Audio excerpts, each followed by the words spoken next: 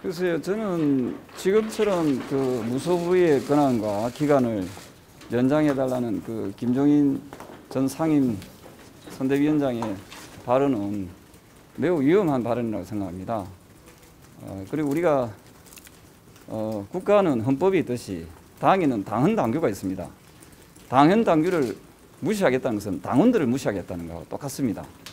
특히 우리 미래통합당이 어, 민주정당을 지향한, 지향한다면은 저는 그런 발언들은 만약에 그런 발언을 했다면은 그런 발언들 그런 발, 발언들에 대해서 어, 직접 저는 해명해야 된다 그런 입장이고요.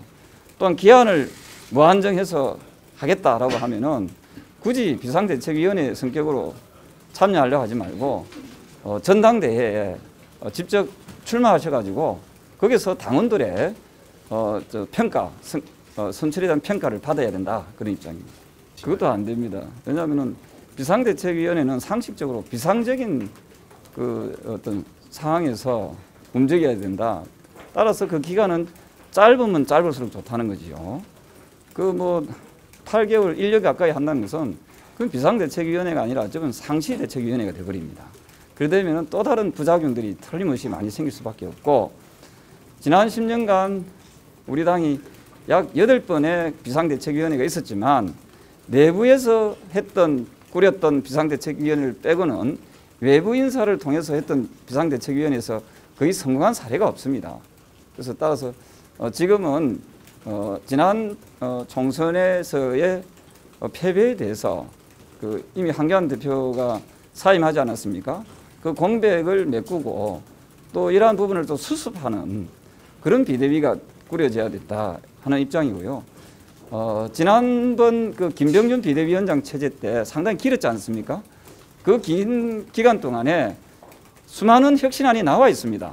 그럼 그 혁신안에 대해서 김종인 그 전 상임위원장이 그 내용을 알고 계시는지 또 신재철 원내대표님께서는 알고 계시는지 만약에 알고 계신다면은 그러한 내용들을 제대로 빠르게 실수, 신속하게 실천에 옮기면 된다는 거지요.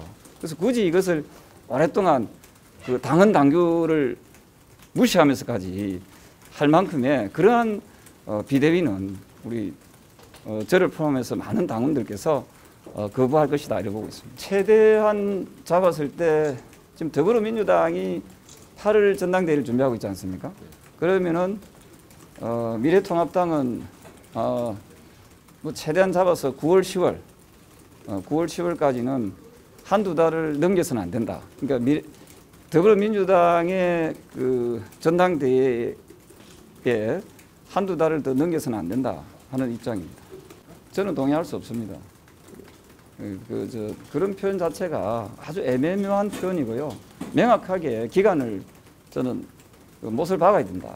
그리고 그렇게 오래 할 필요가 없습니다. 만약에 그래 오랫동안 할 것 같으면은 당당하게 전당대회에 출마하셔가지고 본인이 오히려 당대표 하겠다 하면 되는 거지요. 그래서 거기에 대해서 그 어, 비대위를 오래 간다는 것 자체가 우리 당원들이, 많은 당원들이 저는 그 용납하기 어렵지 않겠나 이런 생각을 했습니다.